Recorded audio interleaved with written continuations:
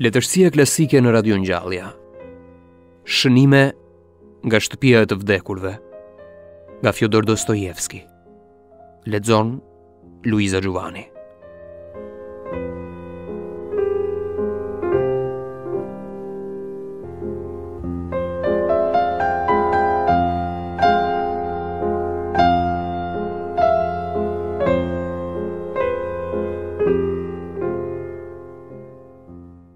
Disa ditë pas festave, u smura dhe u shtrova në spitalin ushtarak.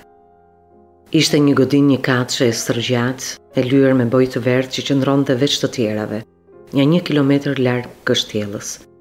Në oborrin e madh, para spitalit, në ca ndërtesa të vogla, ishin zyrat, shtëpitë e personelit mjekësor dhe lokalet e shërbimit. Në ndërtesën kryesore ishin vetëm pavionët, përfshi edhe dy për të dënuarit, kurdoherë Dinga me të smur, sidomos verës, ndaj dhe shtoheshin vazhdimisht shtretër. Dhe shtroheshin aty gjithfarë fatkeqësh të kampit tonë, ushtarakë të dënuar, të ndaluar nga hetuesia, të burgosur që prisnin transferimin, kishte dhe nga të reparteve të punës së detyruar. Kush sëmurej në mëngjes ia bënte të ditur togerit, e regjistronin në librin e ambulancës dhe të shoqëruar me roje e çonin në ambulancën e batalionit. I bënin një vizitë dhe kur bindeshin që i dënuari ishte vërtet i smur, e regjistronin për ta shtruar në spital. Kështu bënë edhe me mua dhe rreth orës dy, kur të dënuarit u nisën për në punë, më çuan në spital. I sëmuri merrte me vete sa më shumë para e bukë, sepse atë ditë nuk hynte në forcë në spital. Merrte me vete çibukun, qesen me duhan, masatin dhe gurin e strallit dhe eshkën. Këto sende të ndaluara futeshin në çizme. Shkela në oborrin e spitalit me një ndjenjë pritjeje të diçkaje të re.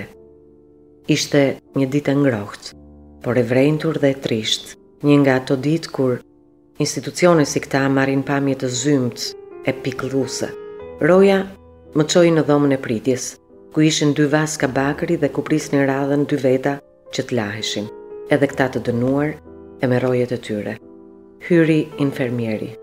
Na pa përtueshëm, u largua për t'i raportuar mjekut roje. Ky nuk vonoi të vinte. Na pa, na pyeti tërë mirësjellje dhe na dha fletëshkrimin, ku kishte shkruar vetëm emrin, llojin e sëmundjes, mënyrën e kurimit dhe gjithë ç'nevojitej për shërimin e pacientit, i përcaktonte doktori i pavionit. Kisha dëgjuar fjalë nga më të mirat për mjekët e spitalit. Prind e kaluar prindërit i janë, më thoshin kur binte llafi. Ndërkohë, veshëm rrobet e spitalit. Ku e ku më të mira se tonat. Na dhanë dhe çorape të gjata, pandofla, ksula dhe pardesy të trasha me astar të ngrohtë. Pardesytë qenë fare të zhyera, por këtë e vura re kur isha në dhomë. Na çuan në pavionin e të dënuarve, në fund të korridorit të gjatë, plot dritë dhe të pastër. Pastërti kishte kudo, gjithçka llamburiste. Ndoshta kështu dukej pas kazermave tona. Na çuan dy e nga dy. Te dera e mbyllur me çelës qëndronte roja me pushkë. Nëntogeri, nga ata të truprojës së spitalit, urdhroi të më lejonin të hyja dhe u gjenda në një dhomë të madhe por të ngushtë, përgjatë mureve të së cilës ishin krevatet, mbi njëzet, ndër to dy a tri ishin bosh. Ishin krevate druri të lyera me bojë jeshile që aq mirë i njeh kushdo te ne në Rusi, nga ato që nuk mund të jenë ndryshe veçse krimb e tartabiqe. Zura krevatin në qoshe në anën e dritareve. Kishte dhe nga të dënuarit tanë. Disa syresh më njihnin sidoqoftë më kishin parë. Kishte shumë nga ata që prisnin të dilnin në gjyq dhe të repartit të punës së detyruar. Të paktë qenë ata që nuk ngriheshin fare nga krevati. Shumica ishin në shërim e sipër. Këta ose rrinin ulur, ose ecejaknin nëpër dhomë, kishte hapësirë të lirë ndërmjet dy rreshtave të krevateve. Ajri qe i rëndë si në spitale, kutërbonte erë ilaçesh.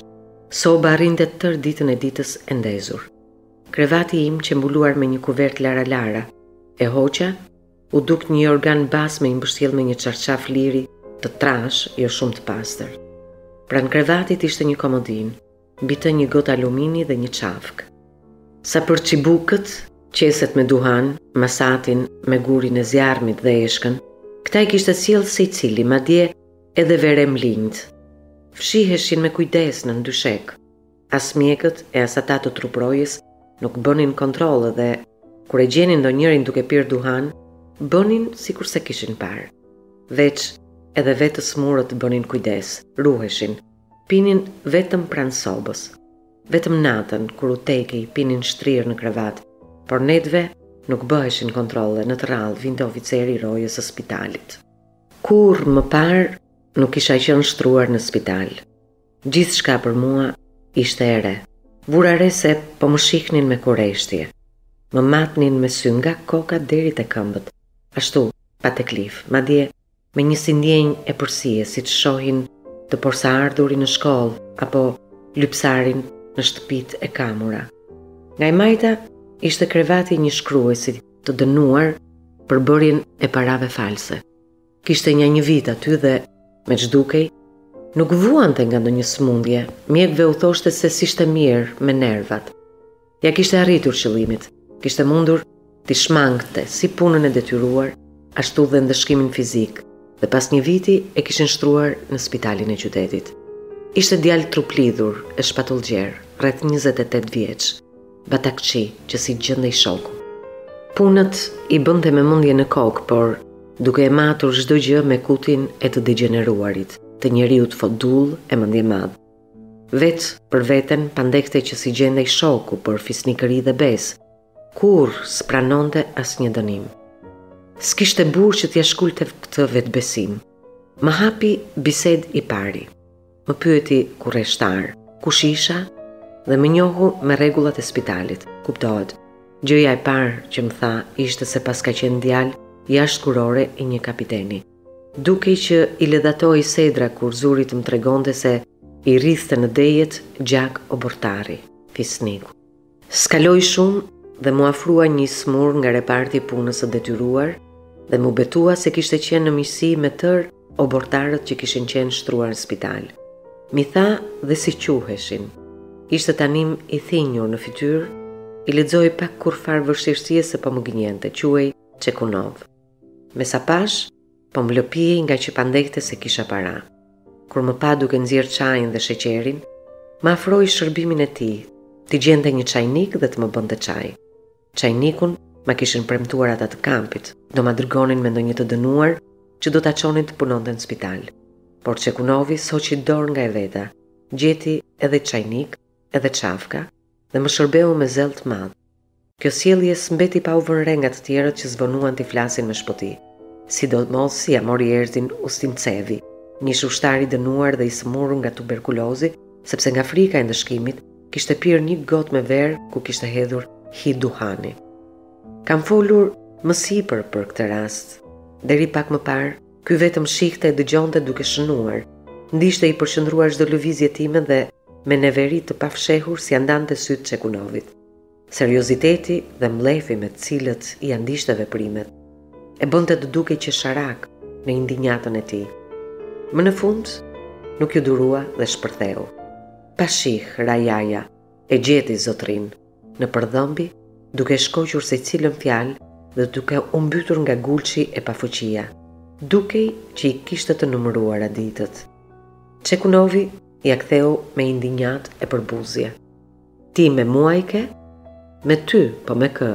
ia përforcoi ky si të kishte të drejtë të padiskutueshme që po e quante ashtu. Unë qënkam raja? Ti, po kush pa? E dëgjoni more njerëz, nuk iu mbushka kungulli zavallit, pale si m'i shqyeka ata sy prej delenxhiu. Po ty ç'të duhet? S'e sheh që ka nevojë për ndihmë që s'bën dot pa shërbëtor? E pse të mos i shërbej mor qurravec? Kush na qënka qurravec? Ti, po kush pa? Unë qurravec? Po, ti. E kush po ma thotë këtë? Ti, more, turi mi? Qurravec je, që ç'ke me të. Të ka dhënë Zoti atë hastallëk, qepe e ngordh si qen, ç'do që kruhesh. Po s'durohet bre ajo që bën, turp e faqja e zezë. Deshi edhe diç të thoshte, por e mbyti kolla që s'iu qetësua disa minuta.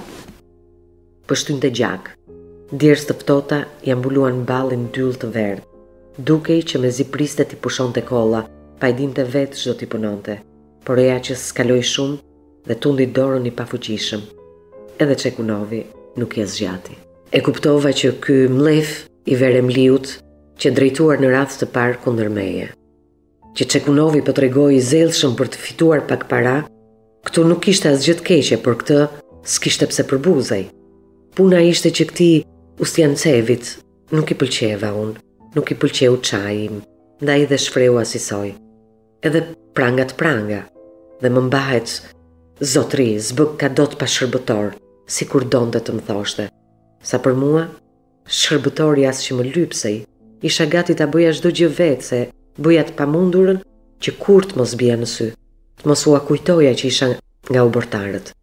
Ishte punë sedre, por ja që kështu më ndodhte dhe kurrë nuk arrita dot ta kuptoj përse. Nuk arrija dot t'i ndalja në vend gjithfarë shërbëtorësh që m'afroheshin vet. Doja s'doja m'i mbaronin punët dhe sa hap e mbyll sytë, bëheshin zotër të mitë. ndërsa unë mbetesha shërbëtor i tyre. Ndërsa dukja e jashtme ishte unë, zotëria, s'bëja dot pa shërbëtor. Kuptohet, më vinte të pëlcisja. Ç'është e vërteta, në kësi rastesh të dënuarit bënin sikur nuk shihnin, madje qëndronin mos përfillës, por Ustjancevi ishte njeri i sëmurë me nerva të acaruara. Një ditë Vura re te të gjithë një si shqetësim e merak të pazakontë. Mora vesh se atë mbrëmje do të sillnin njërin që e paskan ndëshkuar me dyqind shkopinj ushtarësh të rreshtuar. Kërshëria ishte e madhe, ndonëse ndëshkimi nuk konsiderohej dhe aq i rëndë. Hetova një nga një të sëmurët. Shumica vuanin nga skorbuti dhe sëmundjet e syve. Kishte edhe me ethe, me plagë, me turbekulozë, kishte që vuanin nga sëmundje veneriane, por kishte edhe nga ata që nuk vuanin prej asgjëje, që ishin shtruar thjesht për të pushuar. Mjekët e bënin nga keqardhja, sidomos kur kishte shtretër bosh, se s'qenë të paktë ata që parapëlqenin të rrinin këtu, edhe pse ajri ishte i qelbur dhe pavioni mos më keq, sidomos të dënuarit e reparteve të punës së detyruar, linin kokën për një çikë regjim shtrati. I studiova me kujdes këta shokë të rinj dhe më ngacmoi kureshtjen sidomos një veremli që një shpirt i hynte një shpirt i dilte. E quanin Mihajlov. E kisha parë dy javë të shkuara në kamp. Kishte kohë që vuante dhe kishte ardhur të kurohej me shumë vonesë. Me një durim të çuditshëm, krejt panevojshëm. E kalonte çdo gjë, vetëm Në prag të festave kishte vendosur të shtrohej. Dukej sikur po fikej, si qiriri nga veremi. Më çuditi fytyra e transformuar, si kishte qenë ndër të parët që më kishte rënë në sy kur u gjenda për herë të parë në kamp. Përbri tij ishte shtrati i një ushtari të vjetër nga reparti i punës së detyruar, një plak i pështirë, zhelan, që s'i gjendej shoku. Por, ku i përshkruan dot që të gjithë? Ushtari plak m'u kujtua ngaqë gjendja e tij e mjerë të krijon një përfytyrim të plotë për pavionin e të dënuarve. Vuante nga një rrufë e tmerrshme, kronike, teshtinte, madje dhe në gjumë, pesë-gjashtë herë radhazi, dhe asnjëherë nuk harronte të thoshte, Po ç'i paskam bërë perëndisë, bre. Tani rrinte në krevat dhe mbufaste hundët me tabaku që të shfrynte si duhet, të shtinte me shaminë prej basme të bërë vetë, të larë, të stërlarë, të strënguar mos më keq, ndërkohë që hunda i zhubrosej në ca rrudha të panumërta, i dukeshin dhëmbët e nxirë dhe të thyer bashkë me qiellzën e kuqe të jargavitur. Pasi shfrynte e paloste shaminë, ia ngulte tejet i përqendruar sytë jargëve të bollshme dhe sakaq i fshinte pas rrobës gri të spitalit që kishte veshur.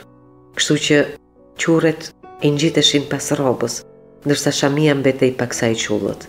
Kështu bëri një javë të tërë. Ky kursim prej cinguni të fandaksur i shamisë personale nuk tërhoqi aspak vëmendjen e të dënuarve të tjerë, Ndonëse ndëkujt mundej edhe t'i rastiste ta vishte herën tjetër atë rrobë spitali. Por edhe në rastin e parë, edhe në rastin e dytë s'të zinte syri as keqardhje, as indinjatë kundër ndëshkuesve. E ndihmonin heshturazi fatkeqin dhe përkujdeseshin sidomos kur ishte fare xhevshek. Infermierët e dinin që pacienti gjendej në duar të sigurta e të shkathëta. Kryesore ishte ndërrimi i dëndur i kompresave me ujë të ftohtë, këmbimi i çarçafëve dhe këmishëve, sidomos kur vetë ky nuk ishte në gjendje ta bënte, pastaj nxjerrja me shkathtësi e ciflave të shkopinjve të ngulura në mish. Ky operacion i fundit është nga më të bezdisshmit dhe më të dhimbshmit, por më ka mahnitur durimi dhe qëndresa e të ndëshkuarve. Kam parë shumë syresh, madje Fare të dërrmuar dhe, o, çudi, asnjë nuk e ka bërë veten të rënkojë, vetëm se fytyra u lemerisej, u zbehej, u irrnosej, sytë i përshkëndisnin, shikimi u përhumbej, u tërratisej, buzët u regëtinin dhe zavalli i kafshonte për të fshehur klithmat